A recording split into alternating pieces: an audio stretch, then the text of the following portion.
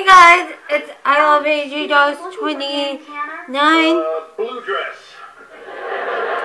So this is what I got for Valentine's Day for my dad of this shoe. Sad part is we did this to ourselves. DJ, what are you doing here? Well, Grandma and Becky weren't home, so I had to come down myself. Thanks for watching.